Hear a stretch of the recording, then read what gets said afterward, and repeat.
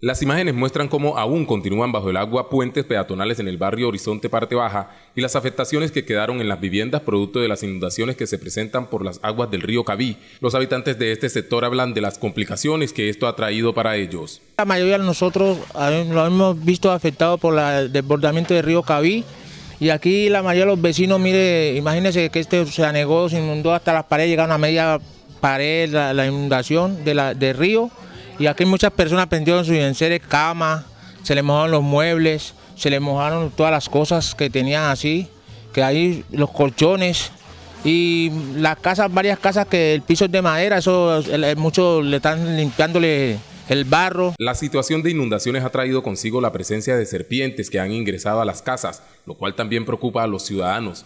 Algunos optaron por buscar refugio en donde familiares y vecinos. La basura trae mucho habichucho, que por ejemplo en algunas casas montaban culebras, las personas dormían, hubo personas que no durmieron en sus casas, tuvieron que ir de los vecinos a dormir porque estaban las casas muy inundadas. Por lo anterior hacen un llamado a las autoridades para que visiten el sector y evalúen la magnitud de las afectaciones que ha dejado la inundación. Cada rato que se siga esta, inconveniencia de los ríos, va la gente a estar sufriendo y dependiendo lo, poquito que la gente consigue y que tiene. Y entonces nosotros le pedimos, le pedimos de parte de la administración municipal y de la gobernación que le colabore a las personas que nos sentimos afectados por el desbordamiento del río Cabí. Mujeres embarazadas han pasado dificultades para sortear la situación. Hacer algunos arreglos y acondicionamientos provisionales en las casas se convierte en una opción para minimizar los impactos de las inundaciones. Estoy pasando mal, porque imagínate para, para la señora que está en embarazo, Amanecer, tuve que hacer un parapeto arriba de la cama para poder amanecerse ahí sentada. Sentado lo amanecimos ahí. Estamos lavando la casa y, organizando lo que, lo que desbaratamos y las neveras de mojó, todo eso. ¿Muchos daños? no me quiere funcionar la nevera.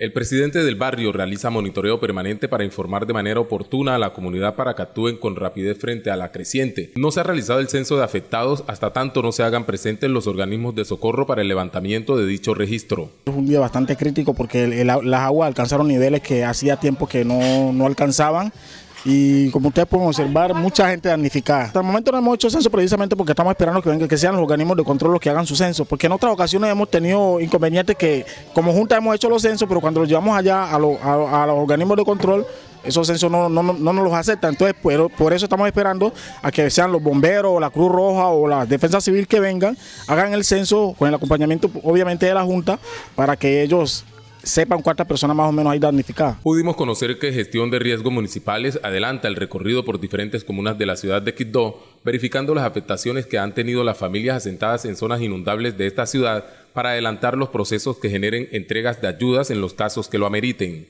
Juan Gabriel Torres, CNC Noticias.